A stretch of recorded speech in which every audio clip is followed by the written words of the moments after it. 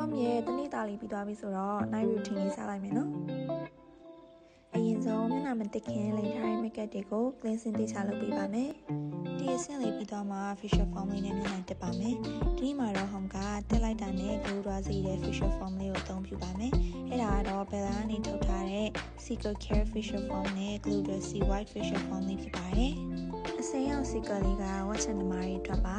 အပန်းရောင်လေးကတော့ whitening အတွက်ပါဒီထဲမှာတော့ တဲ့ creamy leather formula ကြောင့်အမြုပ်ကလေးတွေကနူးညံ့လေးဖြစ်တဲ့အပြင်အညစ်အကြေးတွေကိုတမိုင်းထိဖိရှားပေးပါတယ်။ blue dot ပါလို့အသားရည်ကိုဖြူဝင်စေတဲ့အပြင်ရေတက်လည်းဖြစ်ပြီးလို့မျက်နှာတက်ပြီးသွားတဲ့အမဲဆက်ကင်ပြီးဖြူဝင်တဲ့အသားရည်လေးတွေ့ရမှာပါ။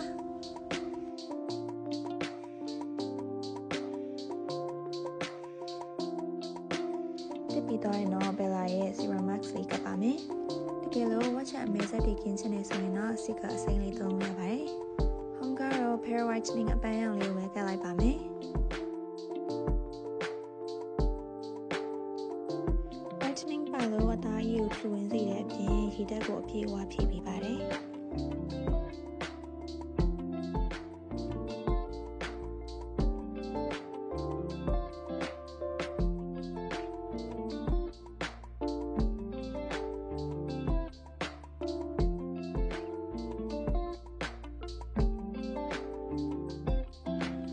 15မိနစ်လောက်လေးအချိန်ပေးလိုက်တာနဲ့ဖြူဝင်မြင့်ကြီးလေးနဲ့အသားရည်လေးဖြစ်သွားမှာနော်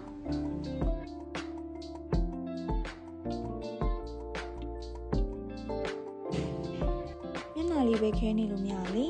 အဲ့တော့ကြံနေတည်းရဲ့ body part လေးတွေကိုဒီဓာတ်ဖြစ်ပြီးတဲ့ watermelon gel လေးကိုနဲ့ပြလိုက်လိုက်ပါမယ်